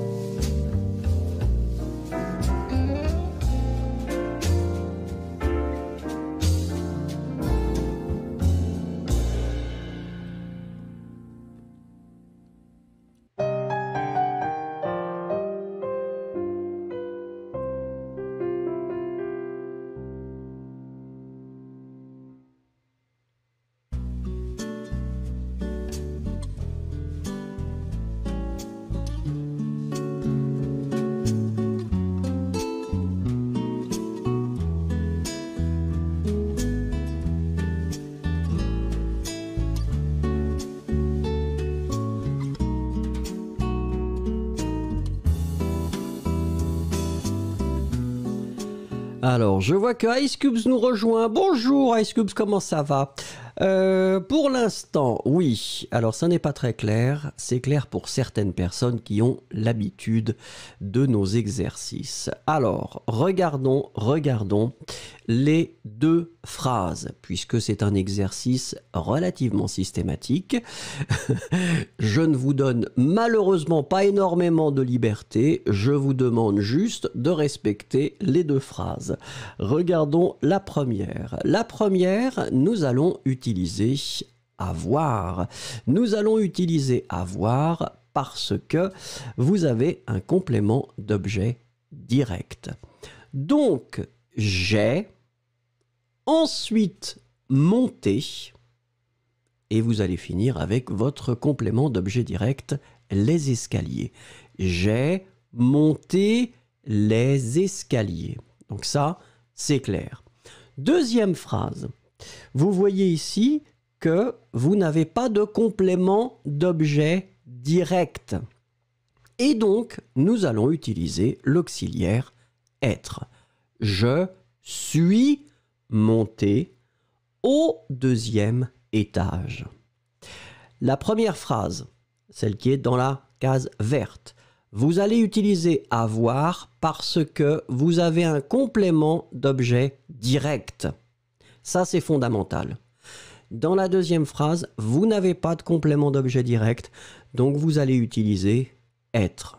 Très important, si vous utilisez être, vous devez marquer le féminin sur votre participe passé, le pluriel ou le féminin pluriel. Ici, c'est singulier. Vous avez deux possibilités, masculin singulier, féminin singulier. D'accord?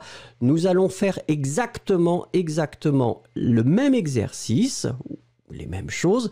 On a encore quatre, c'est la même chose. J'espère que vous allez m'écrire la phrase première. Alors donc ça c'est le deuxième verbe et le verbe c'est descendre. D'accord? Descendre, écrivez-moi les deux phrases au passé composé avec avoir ou être. Allez-y, s'il vous plaît.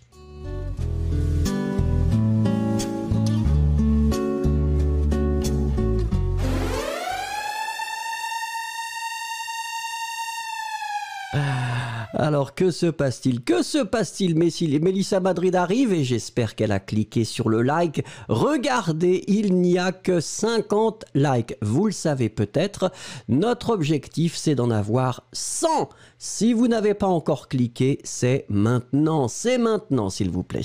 Merci beaucoup.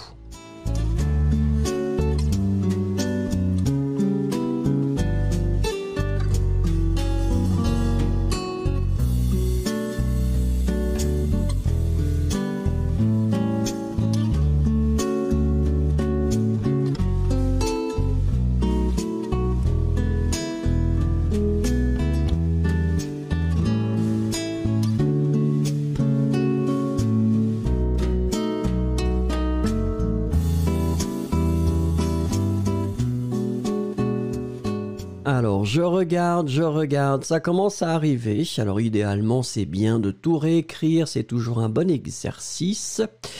Euh, Julia, j'ai expliqué, hein, j'ai expliqué qu'on utilise avoir quand on a un complément d'objet direct, on utilise être quand on n'en a pas. C'est relativement simple. Alors, regardons ici. La première phrase, je suis descendu vers 4 heures. Pourquoi Parce qu'il n'y a pas de complément d'objet direct. Et comme il n'y a pas de complément d'objet direct, on utilise être. Je suis descendu. Souvenez-vous, on marque le féminin si c'est nécessaire. On ne le prononce pas. Descendu, U ou UE, ce sera phonétiquement la même chose. Deuxième phrase, dans la case bleue, j'ai descendu le livre, le livre complément d'objet direct. Donc on utilise avoir. J'ai descendu le livre qui était dans ma chambre. Première phrase. Sans complément d'objet direct, être. Je suis descendu vers 4 heures. Deuxième phrase, avec un complément d'objet direct, avoir, j'ai descendu le livre qui était dans ma chambre. On continue, exactement le même concept. Numéro 3, bien sûr, c'est un verbe différent. Le verbe sortir, c'est la même chose. Le verbe sortir peut être utilisé avec avoir ou avec être, s'il vous plaît. Écrivez-moi les deux phrases au passé composé. Allez-y. Et on se souvient, complément d'objet direct.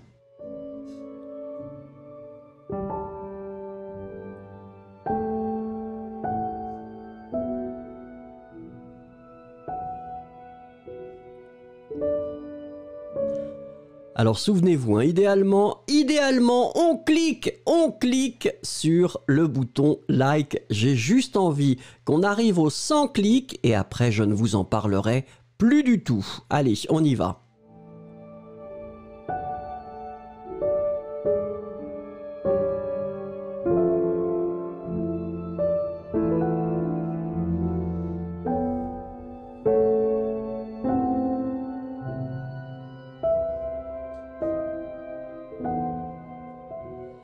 Je regarde ce que vous écrivez. Ça semble pas trop mal, effectivement. Alors, première, première phrase, donc celle qui est eh bien, dans la case verte.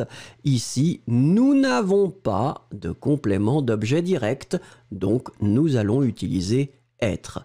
Je suis sorti samedi soir. D'accord? Sorti, souvenez-vous, si c'est masculin, I, si c'est féminin, IE. Deuxième phrase, dans la case bleue, vous remarquez que la poubelle, c'est le complément d'objet direct. Et donc, nous allons utiliser avoir. J'ai sorti quoi? La poubelle, complément d'objet direct, avec avoir.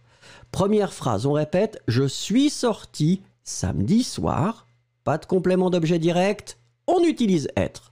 Deuxième phrase, j'ai sorti la poubelle. La poubelle, complément d'objet direct, donc on utilise avoir. D'accord? Quatrième verbe qui va être exactement dans la même catégorie des verbes qui utilisent avoir ou être. Le verbe c'est rentrer. S'il vous plaît, écrivez les deux phrases au passé composé. Merci.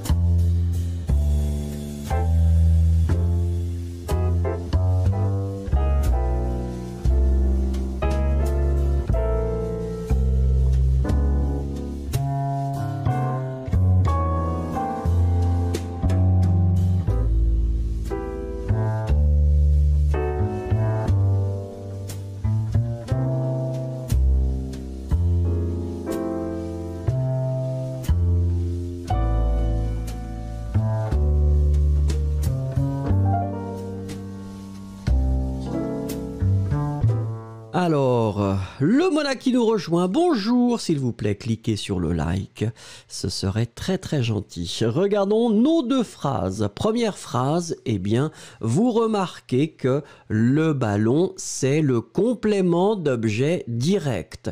Donc, nous allons utiliser avoir.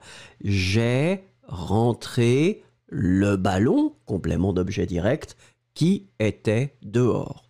On utilise avoir parce que nous avons ce complément d'objet direct. Deuxième phrase. En bleu, regardez ici, il n'y a pas de complément d'objet direct, donc nous allons utiliser être. Je suis rentré. Et comme on utilise être, eh bien on va marquer le féminin si c'est nécessaire à la fin de rentrer avec un E. Donc je répète, le premier avec complément d'objet direct, donc avoir, j'ai rentré le ballon qui était dehors. Deuxième phrase, bleu, pas de complément d'objet direct, donc on utilise être, je suis rentré avant toi. Allez, euh, dernière chose, eh bien c'est le verbe passer. Le verbe passer, ce sera exactement la même chose, avoir ou être en fonction de la construction. S'il vous plaît, écrivez-moi les deux phrases euh, au passé composé.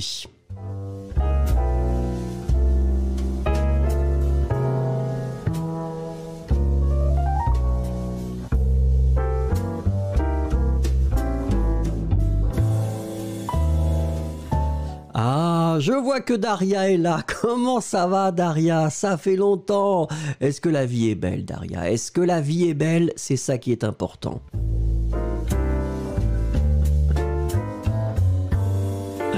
Non, non, Julia, je ne cache rien.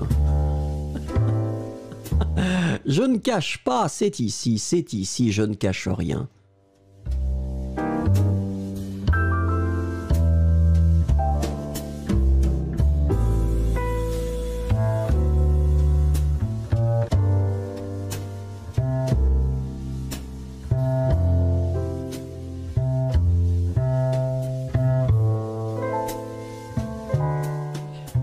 On regarde ensemble les deux phrases. Alors la première, regardons, il n'y a pas de complément d'objet direct.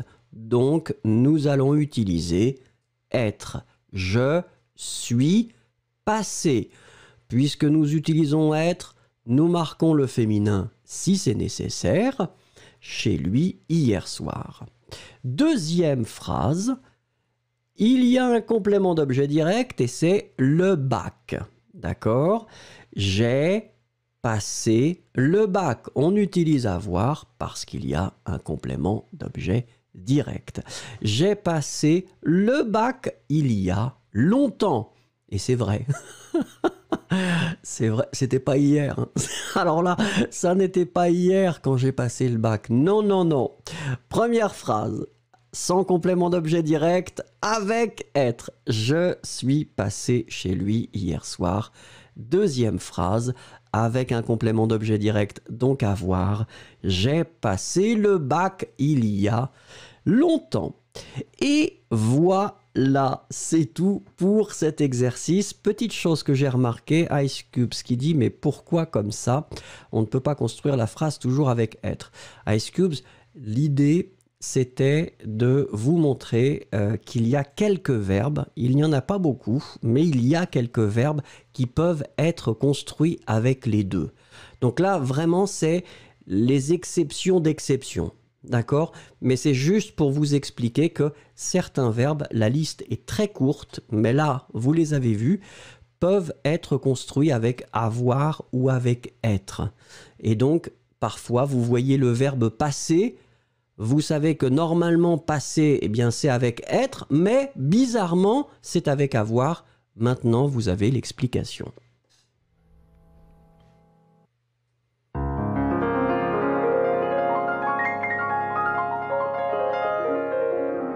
Alors si vous aimez Marcel Pagnol, Marcel Pagnol c'est la littérature vraiment facile à lire, à mon avis, et vraiment très très intéressante, et ça se passe dans le sud de la France. il y a eu beaucoup d'adaptations cinématographiques de Marcel Pagnol, et notamment Naïs avec, eh bien, Fernandel.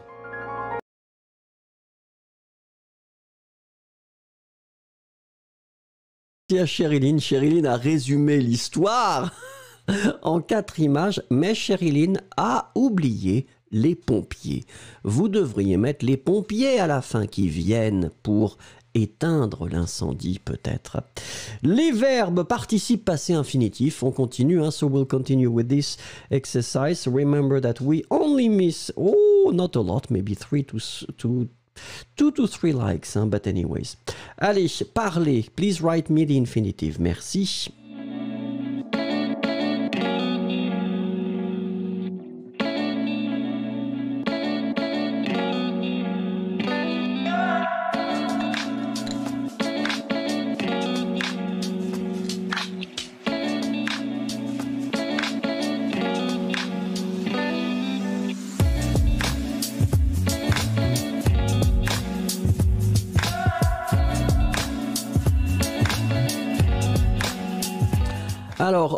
Rejoint. Bonjour Olga, comment ça va? Et Juan aussi. Don't forget to click on the like because we will, we will soon hit and reach the 100. As soon as I can see it, because sometimes you tell me, yeah, it's 100, but then I really want to see it with my eyes. Allez, Evelyne nous rejoint. Evelyne, click on the like. We're getting close, close, close. Alors, oui. Sherilyn. I don't know what it's blocking you, Sherilyn, when you put the stuff. I need to unlock. but it's okay. I do it with great pleasure. Alors, parler uh, was the past participle, and so we're looking, of course, for the verb parler, infinitive E-R-P-A-R-L-E-R. So we'll do some simple ones now, so I hope it will be uh, fast. Participe passé. Can you write me the infinitive, please?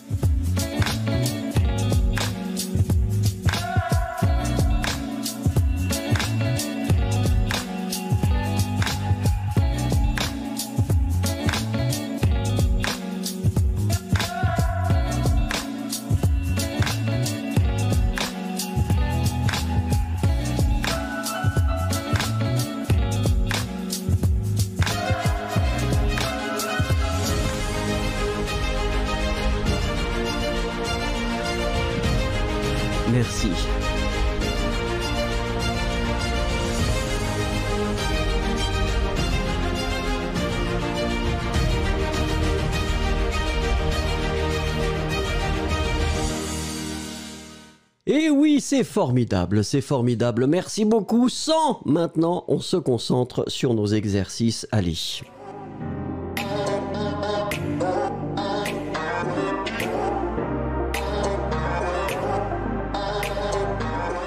Alors oui, un, uh, infinitif finir. Uh, so we agree that the verbs from the second group, in fact, are extremely simple. When you go for the, the past participle, you just need to remove the final r and then you will get your past participle. Finir, fini, choisir, choisi, unir, uni, etc., etc.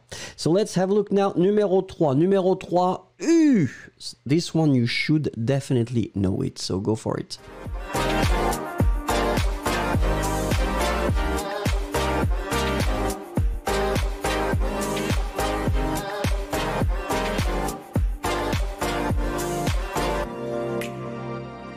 Mais qu'est-ce qui se passe? Aujourd'hui, c'est l'anniversaire de Olga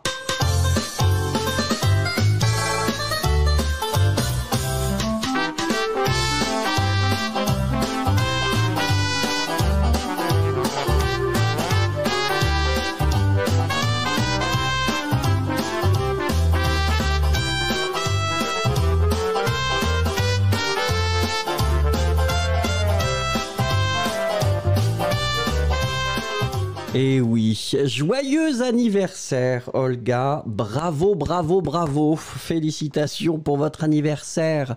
Profitez de votre anniversaire. C'est très important. So let's have a look at the infinitive. The infinitive is avoir, obviously. This one you should definitely, definitely know it by heart. So let's have a look at numéro 4. And numéro 4, past participle is été. Could you please write me the infinitive?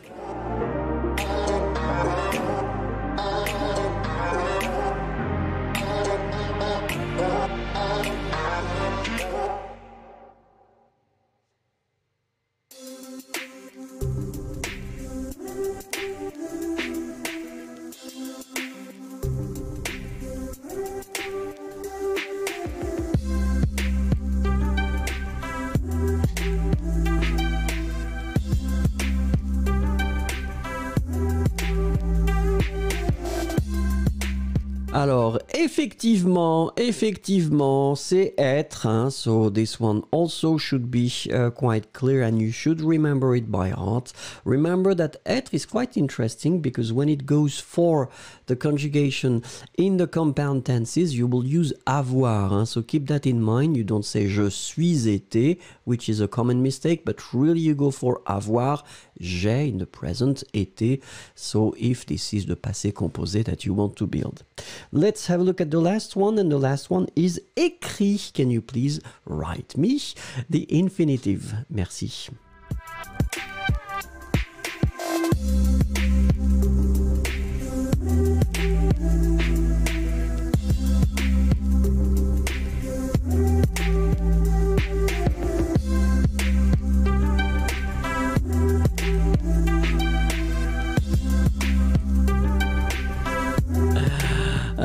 Is it possible to still remember conjugation by heart if the heart is broken?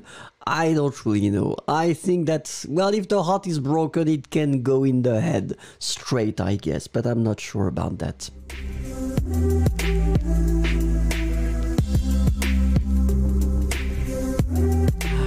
And in that case, the verb was and is uh, écrire, écrire. Uh, third group, remember to write it properly. E, accent aigu, C-R-I-R-E.